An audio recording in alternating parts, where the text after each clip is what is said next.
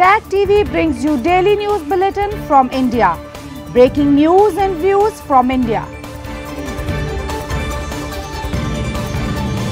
You're watching South Asia Newsline and here are the top stories we're tracking for you. Indian court orders Rahul Gandhi to two years in jail for Modi comment, 30 days to appeal. Pakistan PM says political chaos main reason for economic instability. And soaring food prices weigh heavy on Bangladeshis ahead of Ramadan.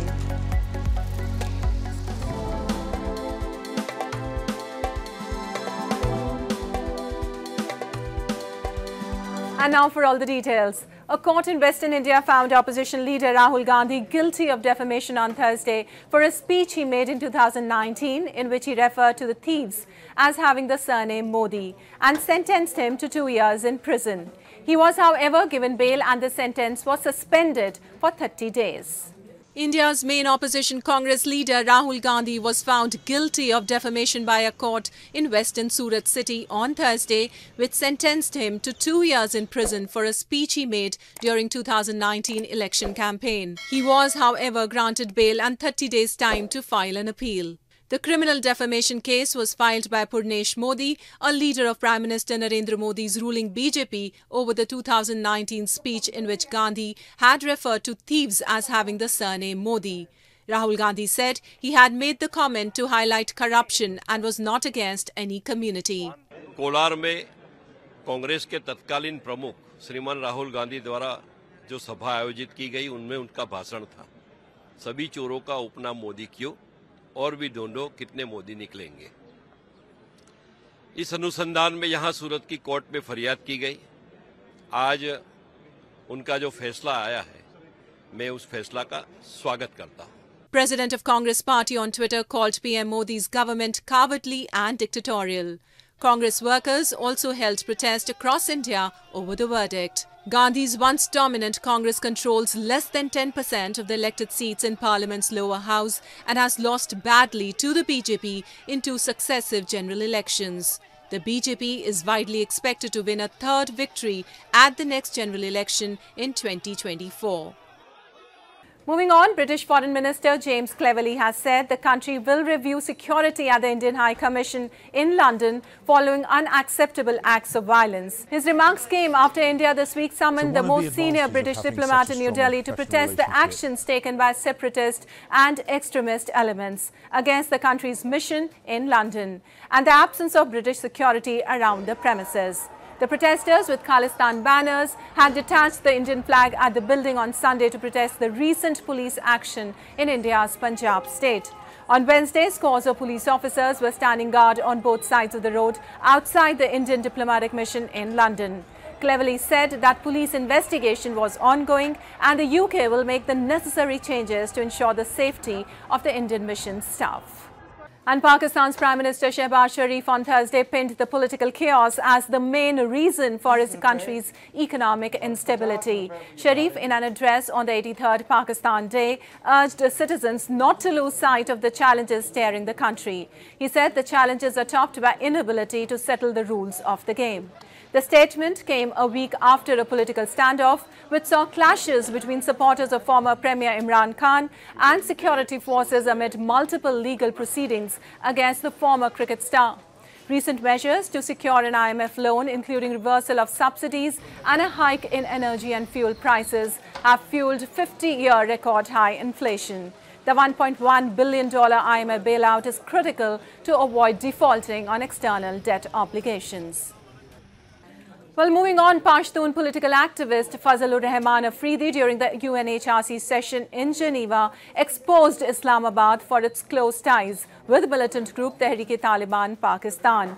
He said the deteriorating security situation in the tribal areas bordering Afghanistan is having grave implications, especially for the ethnic Pashtun community. Fazlur Rahman Afridi, a Pashtun political activist, in his intervention at the UNHRC session in Geneva, exposed Pakistan for its close ties with militant group TTP, the Tehreek-e-Taliban Pakistan.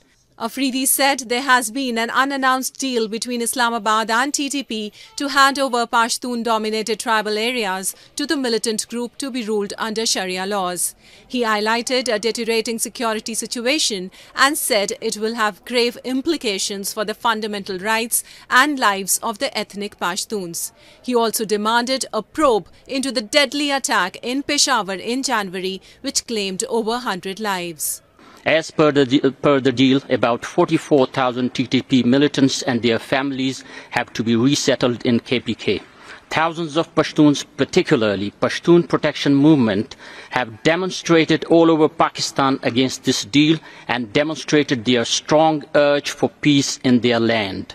On January 30, 2023, TTP, considered to be the proxy of Pakistan military establishment, carried out one of the bloodiest suicide attacks, resulting in killing of at least 101 and injuring of 217 uh, Uh, 217 Pashtuns in civil lines, Peshawar. Sydney based Institute for Economics and Peace in a recent report highlighted Afghanistan and Pakistan to be among the 10 countries most affected by terrorism in 2022. Activists have long blamed Pakistan sponsors terrorism for ideological reasons, but it has now led to bleeding the country itself. The continued ban on girls from pursuing education in Afghanistan in the new solar year has sparked a number of reactions throughout the world. UNICEF, the United Nations Children's Fund executive Catherine Russell, in a statement, warned the move will also have far-reaching consequences for the country's economy and health system. The UN Human Rights Office spokesperson Marta Hurtado said that the denial of secondary school education and then of access to university is manifestly discriminatory and profoundly distressing for girls and women. US Secretary of State Antony Blinken also said that the current government of Afghanistan will not stop violating human rights until they deprive access to education to girls. It is not possible to normalize ties. The country's economy has been severely hampered due to frozen bank assets and stalled development aid amid sanctions. And as the holy month of Ramadan begins, residents in Bangladeshi capital Dhaka said they are struggling under the effects of high inflation, especially on food prices as they prepare for the Muslim fasting month. Long queues were seen forming at trucks selling government subsidized commodities such as rice and flour as part of the open market sales program intended to combat soaring food prices.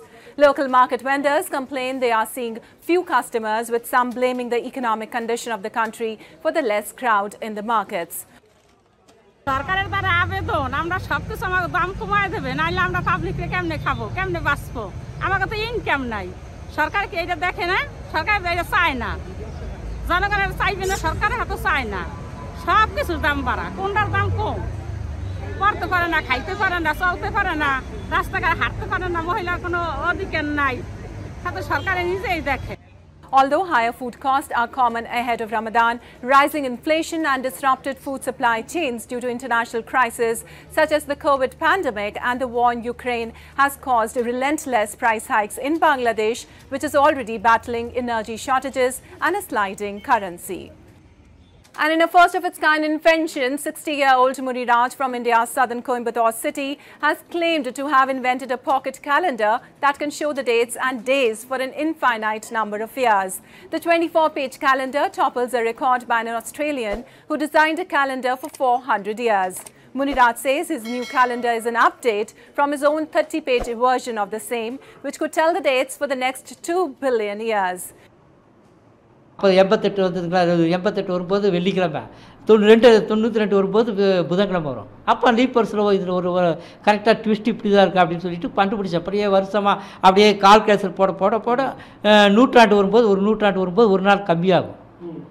Leaf வருஷம் leaf வருஷம் இருக்கிற common year double digit வரும்போது ரெண்டு நாள் கம்மியாகுது. அப்போ கண்டுபிடிச்சேன். ஓ இந்த மாதிரி தான் இப்படி போகுதுன்ட்டு அப்புறம் நான் வந்து நூறு வருஷத்துக்கு முதல் ஐடி ஐடியா பண்ணேன். அப்புறம் நூறுலேருந்து ஆயிரம் ஆயிரத்து ரெண்டாயிரம் ரெண்டாயிரத்துலேருந்து அப்படியே போய் பத்தாயிரம் அப்படி போய் நூறு கோடி வருஷத்தை நான் கண்டுபிடிச்சி ஒரு ஃபில்லப் பண்ணிட்டேன். ஃபில்லப் பண்ணிவிட்டு வச்சுட்டேன்.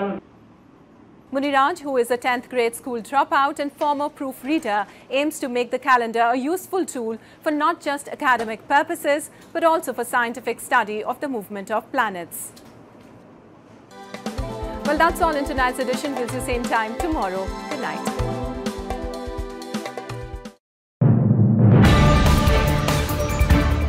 TAG TV brings you daily news bulletin from India. Breaking news and views from India.